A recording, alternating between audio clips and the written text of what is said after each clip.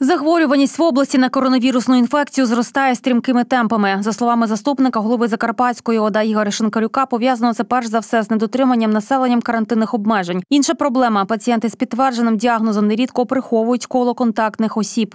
Якщо подивитися аналіз за останній місяць, який ми провели, то а, насправді а, вражає число людей, які е, не хочуть вказувати своє місце роботи. І це одна із великих проблем, з якою ми однозначно будемо боротися. Епідеміологи під час розстеження того чи іншого випадку звертаються до людини, щоб встановити коло контактних осіб, особливо якщо це стосується. Наших громадян, які працюють у великих колективах, це можуть бути спецсуб'єкти, це можуть бути люди, які працюють в державних установах, в е, органах виконавчої влади, в школах в першу чергу. Так, це можуть бути спортивні секції, де діти займаються.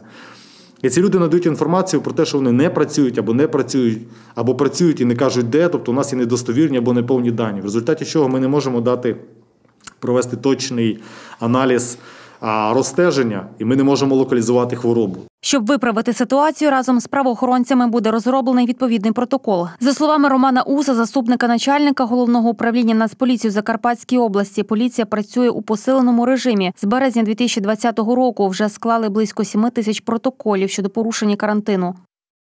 Якщо ми візьмемо кількість адміністративних матеріалів, складених починаючи з березня місяця по сьогоднішній день, то їх кількість буде близько 7 тисяч.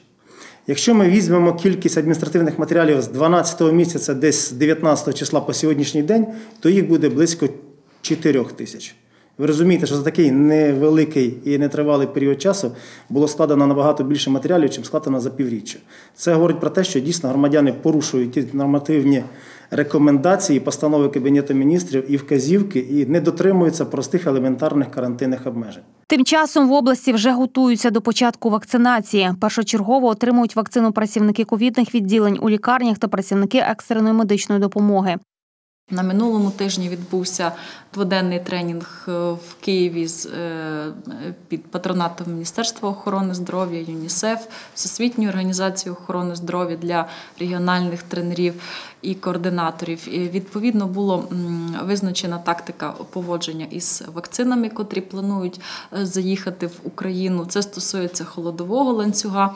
Були розглянуті логістичні етапи транспортування, а також як проговорено окремі речі, як буде виглядати сама вакцинальна кампанія. Наразі 17 закладів охорони здоров'я Закарпатської області лікують хворих на COVID-19. Відсоток завантаженості ліжок для госпіталізації пацієнтів з підозрілим чи підтвердженим випадком становить майже 60. Однак, як зазначила головний епідеміолог Закарпаття, лікарняних ліжок в області ніколи не буде достатньо, якщо населення не дотримуватиметься вказаних карантинних обмежень.